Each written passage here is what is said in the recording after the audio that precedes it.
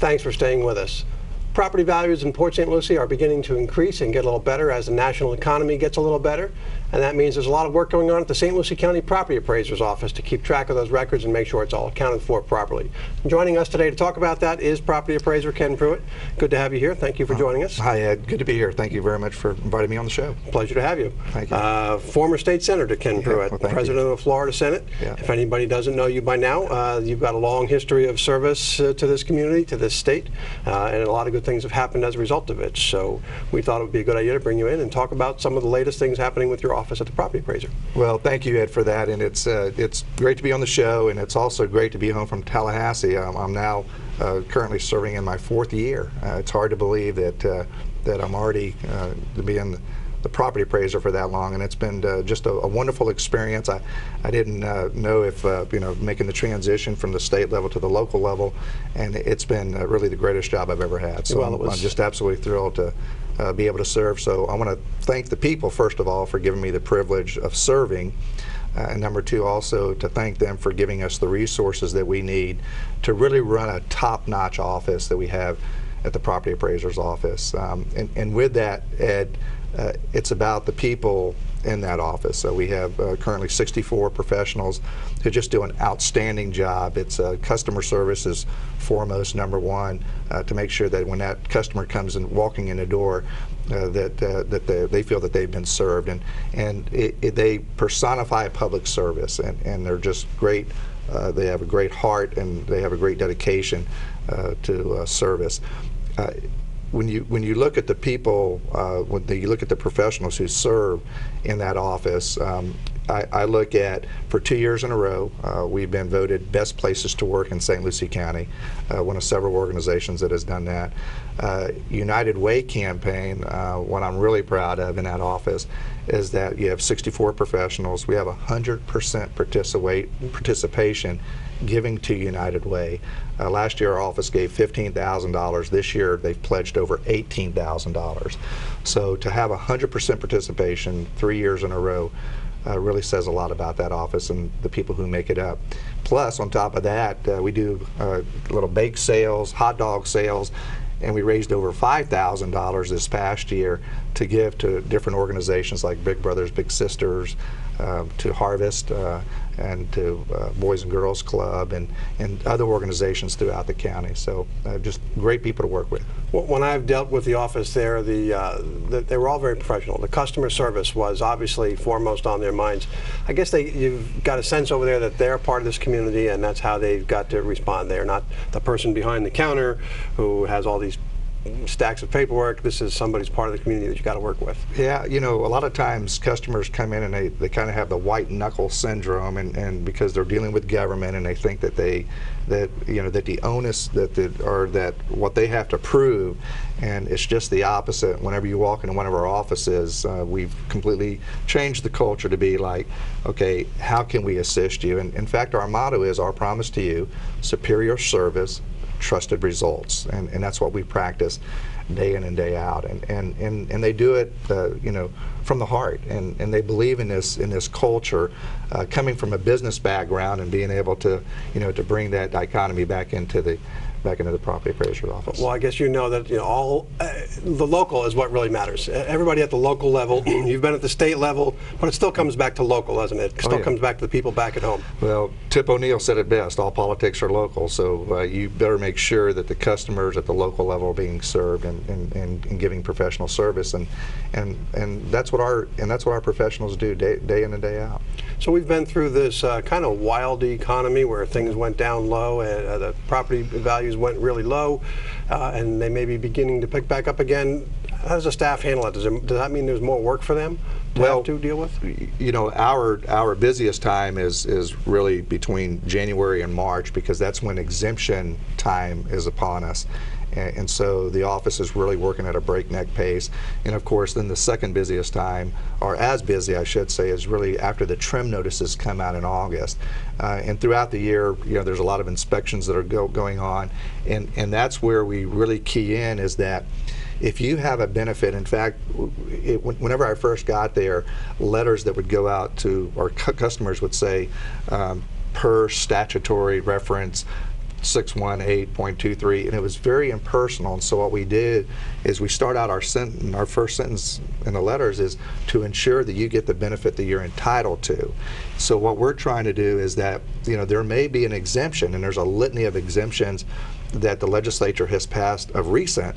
And so what we do is when that trim notice comes out in August, and that's when it's very important, you know, some folks they'll take their their exemption or their property tax notice and they'll just put it on the side. It's very important that they read that and they know exactly what's in there because there may be an exemption that they previously may not have been entitled to that they're that they're entitled to now. So ours is a lot of outreach. We're trying to let customers know that, you know, that if you're a senior, if you're in limited income, uh, if you're a veteran, that there are new exemptions available to you to be able to take advantage of. And that's where the outreach really comes in. And of course, that's what our professionals do best. And people may be able to save some money if they are entitled to one of these exemptions. That's yeah, what it comes you know, down to. you know, every you know, every little bit helps, uh, particularly for our seniors and for our young families. And so, anything that they can, you know, take advantage of, it really is important for them to ask questions, and that's what we encourage customers to do whenever they come in. And you know, not in, not to feel intimidated or feel like, well, if I ask that, it's going to feel like it's not a you know, Like gonna I'm be a foolish question or something I shouldn't like, look, get.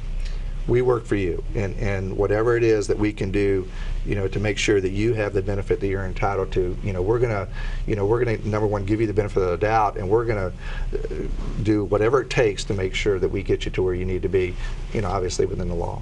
So I mentioned that uh, property values are turning Yeah. around again. Uh, what's that looking like for us now? I tell you, I I, um, I am really optimistic in the city of Port St. Lucie. Uh, of course, you just need to drive around in tradition, and you're also seeing it in the, you know, whenever you drive and you're seeing building permits and homes being built now, and and it's it's really very optimistic for the future. Um, I'm not going to prognosticate that it's going to be like in 2005 and 2006 when property values went crazy and you know the home building was at a breakneck pace, and, and I don't know if we if we ever want to get to that point again because it was just it was hard to keep up with. Historically, that was an oddity. Yeah. Really, that doesn't really happen. We had in this town 40%, 42, and 44. Three-year run like that. Wow. And that's an incredible Yeah. increase back in 05, 04, 05, 06. Yeah. But really, that's a statistical oddity to have some housing, any investment, Right. rise up like that. Well, when you look at in 2008, and, and, and as you'll see on the chart here, that in 2008, uh, you know, the price per square foot of the average home being sold was $105 per square foot. Then it, then we had the bust, and, and of course, then it went down, and it went down to about $61, and now we're back up to uh, $81 a square foot. So, you know, it's it is you know it's turned the tide, and as you can see by that red line, you know, that you know that we're starting to see light at the end of the tunnel and it's not a train coming at us. And, and so now it's truly what we're going to be able to see for planning purposes uh, for for the uh, city council members and for the mayor and for the city manager is they'll be able to plan to be able to look to see now we have a steady increase. Um, and it, it would be that this is just not this is not an anomaly. This is this is steady as she goes. So we're seeing, you know, a steady incline um, in terms of the property values, and that bodes well for the city. And and steady is good. We don't need the, the soaring, skyrocketing stuff that we had before. Yeah. Uh, you mentioned how this affects city government. That is true. City governments, we plan our budgets based on these trend lines and what we can anticipate uh, property values being in the future. And of course, nobody knows exactly what they'll be, but it's important to get a, a, a reasonable guesstimate uh, Right. to begin projecting future year budgets because And- that's what it's based on. And Ed, that really is a great point because we go by trends, and, and you know while while we read different national periodicals to you know to you know to see how it's re- being reflected throughout the rest of the country, you know the city of Port St. Lucie is probably the most resilient city. When you look at what it's been through, um, it, it is it's it's going to come back, and and of course, you know how strong it's going to come back is you know depending upon you know what our city fathers and what the and and what the market dictates but all all indicators are is that it's going to be strong and so when you look at last year of course we had the nuclear power, power plant a lot of a lot of the increase was reflected because of all the improvements that were made to that. But what we're seeing now, uh, particularly in the city of Port St. Lucie, is is, is it's really in resales and also with with uh, with the new building construction. So our, our city planners, our city fathers, uh, our, our elected officials are, will now be able to, you know, to be able to plan for the future in a way that's uh, very thoughtful, which they've done, um, always done, but at the same time now they'll actually know what's going to be happening. June 1st is the, is the date that, that we'll actually give out the numbers, um, but I would say all indicators now are particularly positive. We should see something positive. Yeah. And we also look at uh, building permits Oh, yeah. here, um, and those buildings maybe not are they're maybe not built yet, and they haven't made it to your rolls yet, Yeah. uh, but they will in another year. Uh, and the building permits are way up also, so we know there's a lot of confidence out there. And, and, and you raise an even better point is that remember we're always a year behind. So whenever you get your trim notice in 14, what's happening is that's going to be reflective of everything that happened in 13.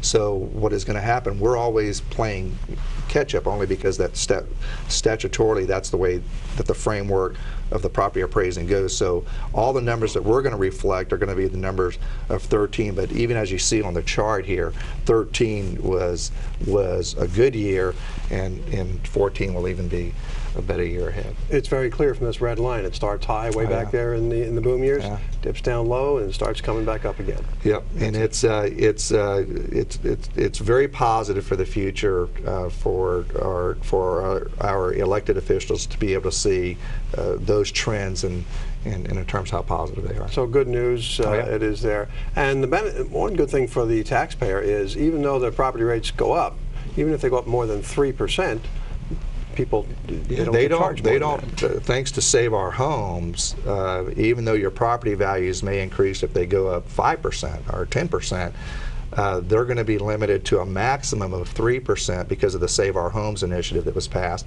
And remember, it's based on the CPI. So if the CPI is two percent or one and a half percent, that will be the increase that they'll have.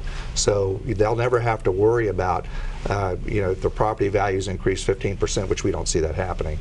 But just hypothetically, if it's 10 or 15 percent, they'll always just pay a maximum of, of up to the uh, the three percent. and it will take a long time for uh, people to be paying back what they were paying before because it went down by more than three percent a year. Right. But it doesn't go up by more than that. Exactly. But for the city, uh, there's still a whole lot of empty ground out in tradition and out in the southwest part of the city, unbuilt yet, uh, and many empty lots throughout the city. So there's still a lot of opportunity for new growth. Well, and that's what you're better. seeing. You know, what you're seeing is a lot of growth in tradition, a lot of building permits being pulled out there, but you're also seeing, you know, the fill-in lots all throughout the city of Port St. Lucie. You're also starting to see a lot of homes that are being built there.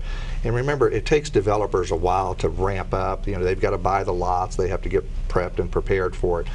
And that's what we're seeing a lot. There's a lot of lot sales that are going on. Now we're now we're seeing letters that are being sent to lot owners to say, "Sell me your lot" by by these by these developers who want to come in. So, you know, that's again, although we're always a year behind, uh, we're always looking ahead as well to see, okay, well, what's going to be happening here, you know, just to be prepared for it. So uh, your office keeps busy through all this. You've mentioned uh, that right now it's it's uh, homestead. Well, homestead exemption time, it was uh, March 1st. If, if, if somebody after March 1st, we don't, uh, you know, we don't say that, no, they can't get it again. But what we do is, uh, what we do is, is that they come in and if they have a reason as to why they were late and if we can get them through the petition process, then, you know, we'll go ahead and we'll honor that. Um, and then we'll have the trim notices come out in August and it's always very important for the customers, uh, for, for them to read that actual trim notice because it shows the benefits that they have. And there may be one that's missing. You know they, they may have turned the golden age and you know they need to come in There it and see if they're eligible for something else in terms of that exemption.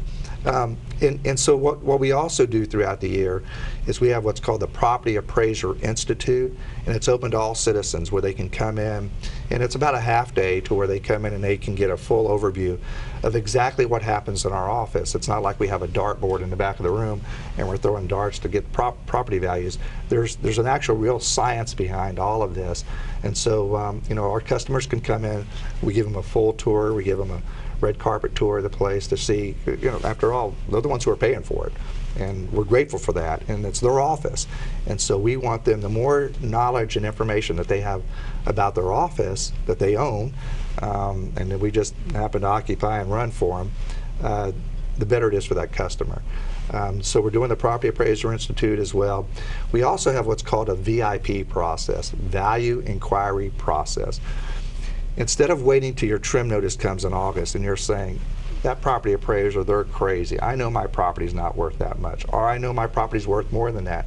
Instead of waiting for that formal value, you know, value petition process, uh, VAB process, process to take place, we have what's called a VIP because all of our customers are v, VIPs.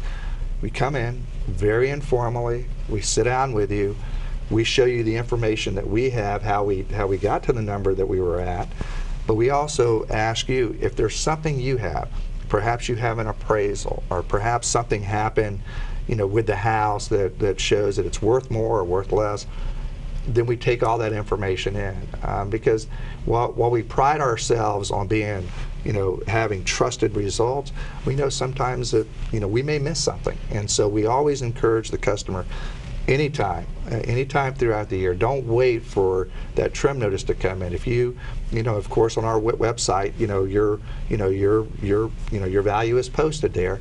And you may think boy you know I, you know I need to go down and see those folks. And come on in and what we'll do is we'll give you uh, to one of our professionals my door is always open.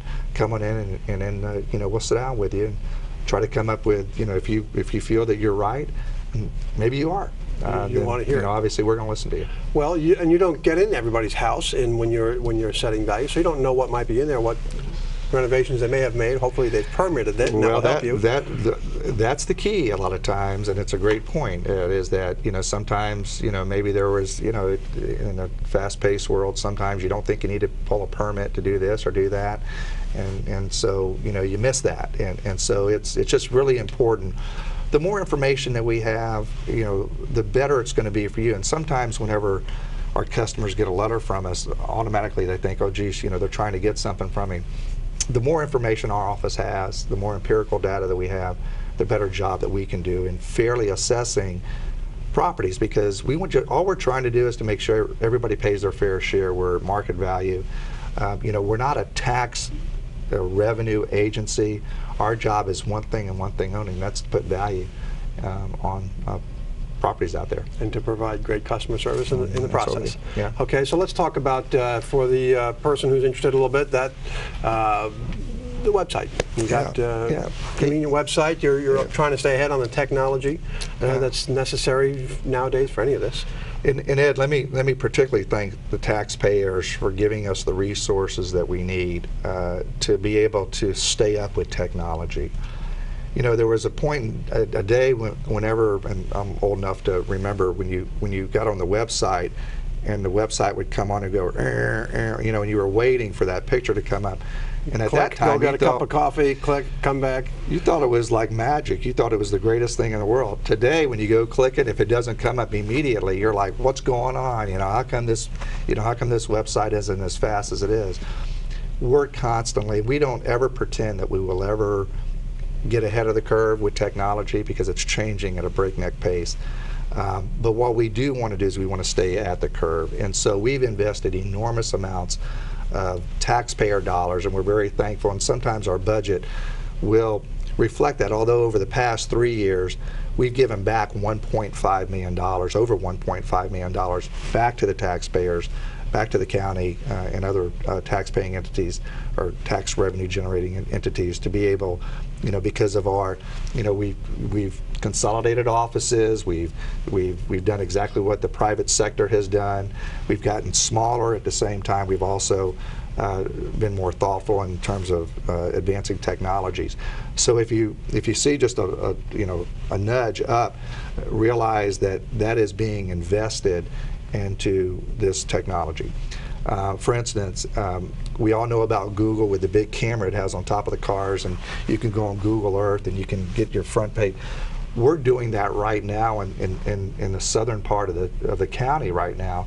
A company called iLookabout, and they're taking what is what are literally 3D images between the images that we get, um, you know, from you know from the air and from the from the street view, and what that allows us to do, and, and literally our, our professionals will have this 3D imagery in front of them at their desktop to be able, instead of always having to get in a car and go out there and inspect, literally they will be able to do it from, from, from the desk. Um, it doesn't mean that this technology will replace that professional. What it means for us that in the future we won't have to hire as many new professionals because we're able to do so much more from the desktop because of all the imagery that we have here. So, so if you see that little car with the big old camera sitting up, not don't be alarmed for it. it it's you know it's it, it is ours, uh, the taxpayers uh, that they've paid for, A- and we're also doing that, and, it is, and as you can see on our website, that we've tried to design it about as close to Amazon.com or one of those really easy search engines where customers can go on here. Um, we average well over 100, 150,000 clicks a day on this website. Wow. During the trim notice time during August, that sometimes can approach you know 250,000 to 300,000 clicks a day. Uh, that means if the average person is clicking three or four times, you know that's also included in it as well. What I'm trying to get at is that this website is used a lot. This is not your typical business promotion website.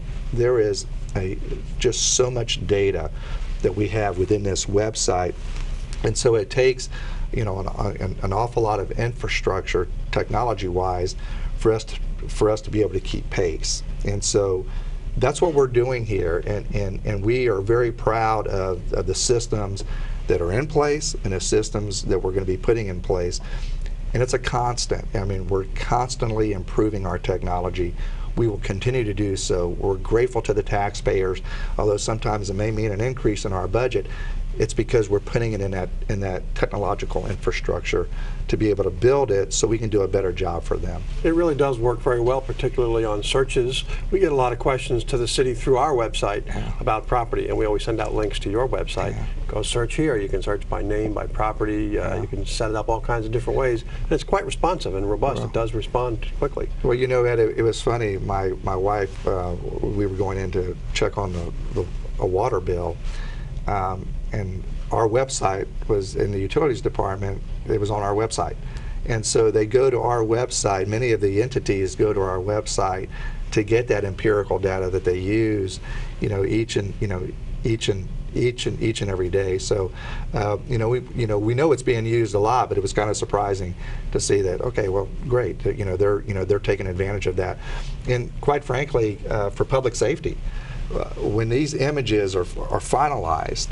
Um, the sheriff's department, the city of Port St. Lucie Police Department, the city of Fort Pierce, any law enforcement agency, fire they're going to be able to go on our website and literally with this kind of 3D imagery, um, and let's say if the SWAT team or whatever, they're going to know exactly you know, it, let's say that there's a building there, um, and what we're trying to do is we're trying to keep this updated once every two or three years, uh, and, and that's why it costs more to do it. But you can imagine if public safety has that up-to-date information, and I know you've probably seen in the movies where they, you know, they lay out the plans there to, okay, Right. well, what's over here? Well, we actually will have that in picture form for them to be able to, you know, to be able to get up and, and to be able to do a better job there in terms of our safety. Sure, and it's just so important, this technology, to stay ahead. As you mentioned, who, who will ever get ahead of the curve, I don't know. Uh-huh. But if you get behind the curve, you're in a bad place. Well, it And it's does. just the reality of, of life today. Yeah, particularly in our office, it, it's that again. It's not a business promotion site. Although we do have, in the lower, as you'll see in the lower left-hand column, we have what's called St. Lucie on the Move. And what that does is that that talks about all the great attributes of St. Lucie County, um, and that's what we're proud of. Is that uh, we're a partner in this community. Well, we love this community. We know that whenever that, particularly after this winter, when our friends from up north, you know, are clicking onto our website, what they're also seeing is they're seeing PGA, they're seeing about the city of Port St. Lucie, they're seeing about the Met Stadium. So it's kind of like a Chamber of Commerce promotional tool that we use because we're taking advantage of them going to our website uh, for real estate purposes, um, and then at the same time saying, "Oh wow, they've got this, this, you know, all this great stuff about, you know, about what's happening in that county as well." Yeah, and there's a lot, and it's it is important. You're right. A lot of people from out of town are looking, and there's it's important to show them what's here. If somebody still wants to talk to a human the old-fashioned Oh, way, yeah. Yeah. uh, they can still call. Uh, absolutely. That's certainly available. 462 1021, uh, you know, is our numbers. And, and for it really, to, to make it even easier, 462 1000. Um, and what we try to do, we have two offices. We have one on Walton Road at the annex there, and we also have our office on Virginia Avenue in Fort Pierce as well. And our professionals are willing and ready to serve you at any time. And you know, we still have at 462 10, uh, 1020 1021. You know, you'll still get a, a, a real person. Get the real person. You know, to answer the phone and get you to where you need to be. And that's still so important as well. Absolutely. Property appraiser Ken Pruitt, Thanks, thank Ed. you for coming in and joining us I and spending some time uh, to talk to us about all the work that your office does and the great staff you have going there. You. Uh, It's a real value to our community. Well, thank you for the opportunity. We appreciate the effort. Thank you. Good to have you. All right, thank you. And we'll be back after this quick message. Stay with us.